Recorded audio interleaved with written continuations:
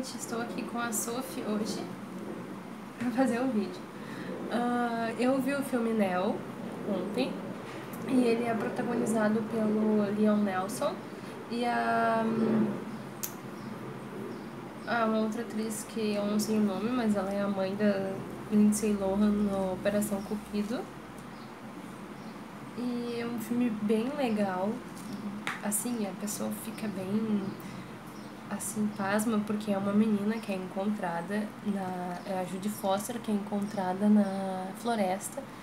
E é bem tenso porque ela não fala o idioma né, da gente. E fica aquela trama assim, e fica todo mundo em cima. O Leon Nelson é um médico para descobrir o que, que aconteceu com ela. E no final é surpreendente.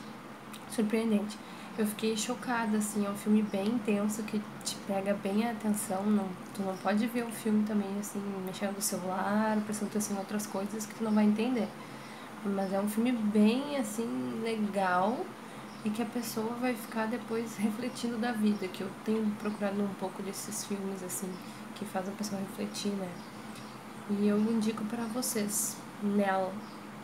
Tchau, gente.